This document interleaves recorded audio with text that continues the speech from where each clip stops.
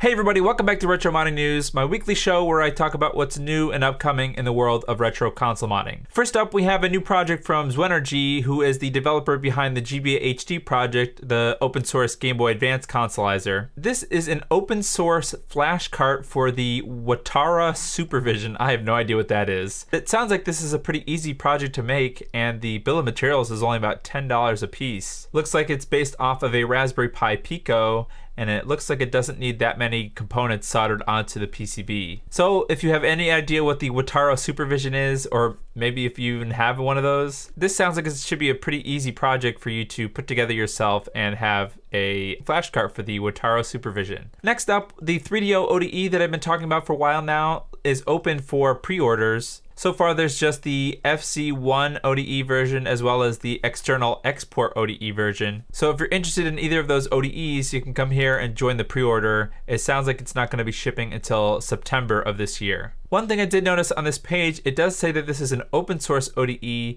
but I don't see any links to any sort of GitHub repository or any of the source code. Now I understand a lot of developers will try to make some of their money back, the development costs of actually making a project, so they'll kind of hide the source until they've made their money back by selling the product themselves, and then they'll release the source. So maybe that's the case here. I think it would be cool for any of these awesome projects that people create eventually become open source so that people can create them themselves if they want to. Next, we have a cool update from MiSTer Add-ons. This is actually an addition to the Mr. MiSTercade. The Mr. MiSTercade is a JAMMA adapter board for the MiSTer. Basically allows you to use a MiSTer inside of an arcade cabinet. MiSTer Add-ons here is sharing the Mr. MiSTercade Versus prototype. To me, this Mr. MiSTercade Versus board sounds really awesome. It sounds like you can use a single MiSTer and Mr. MiSTercade to power two different arcade cabinets. I actually found this picture that Lionplex took from Brooklyn Arcade. It's basically these two Astro City arcade cabinets sort of facing each other. They're basically playing against each other. So this seems like a perfect setup for a MiSTercade. You have a MiSTercade in one of these cabinets, and then you use this MiSTercade Versus in the other cabinet. You can feed audio and video from the MiSTer to the second cabinet as well as the controller for the second person. So this is still just a prototype.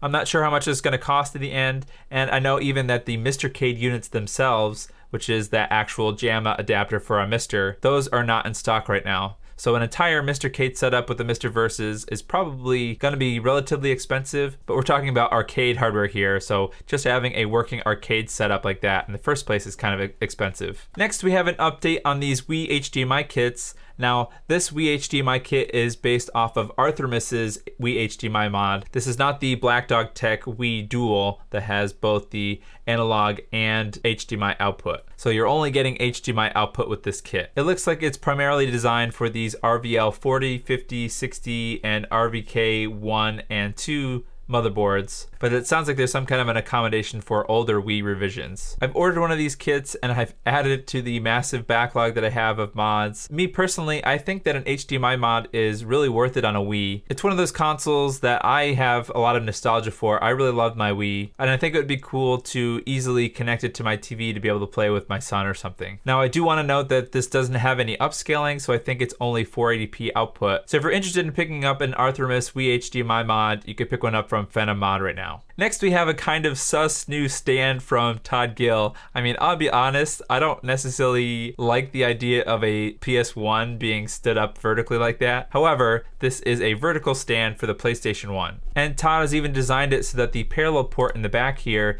is exposed. So if you have something like a PSIO, it will still be able to fit in the back of the PlayStation. And even better, if you subscribe to Todd Gill's Patreon, you can have access to the files right now. So if you want to support Todd, besides buying his products, you can go over and support him on Patreon. I'm curious of your thoughts on this PlayStation 1 stand. I mean, I sort of appreciate that Todd Gill is thinking outside the box here with this, but I don't know how confident I would be with having a fully modded PS1 with the X Station as well as a PS1 digital in this thing. If that thing fell over, that's an awful lot of money to have come crashing down. Next, we have a pretty cool NES mod that I noticed from this One Up Restorations post. They have a video here about this console and how they fixed it. I haven't watched the video yet, but I noticed that there was a very rusty NES. This is sort of like the power unit in the corner here. This is sort of like a separate board on the NES where the power regulator sits. And so One Up Restorations did both a OpenTendo, which is basically a replacement for the main NES board here. But they also put together this power board from Merlin Shaw. The Gerbers and bill of materials are available here on GitHub, so if you want to create one yourself, you can. But it's basically another recreation NES power board like we've seen before. This project is actually sort of similar to Bordy's NES IO mod. I know this is the real Phoenix's site, but this is a version of Bordy's NES I.O. board, but it also has connections for connecting an NES RGB to this board as well, and having a Sega Genesis style DIN output embedded into this NES power board. And actually this Merlin Shaw board has this similar scenario where you have the pins here that connect to the NES RGB and a Sega Genesis style output up here. However, I noticed that there was a NES Power Module redesign here from Merlin that seems a little bit more like the original NES Power Board, but it kind of extends it actually. So it actually has stereo output from the NES. So where the original, it was just composite video and a single channel audio output. Now you get composite video output and the left and right audio channels from the NES. So I think this is actually pretty interesting if you have some catastrophic NES issue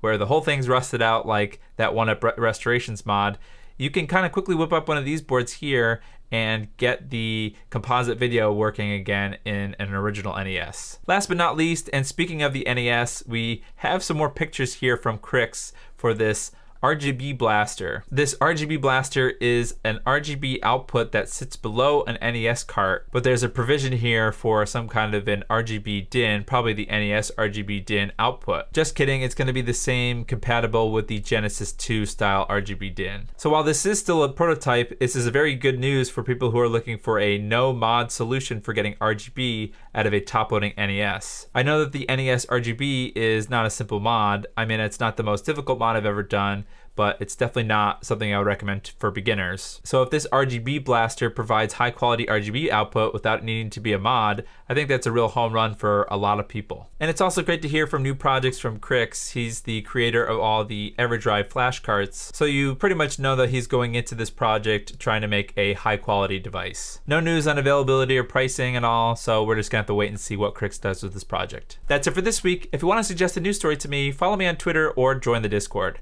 Thanks for watching, and I'll see you in the next video.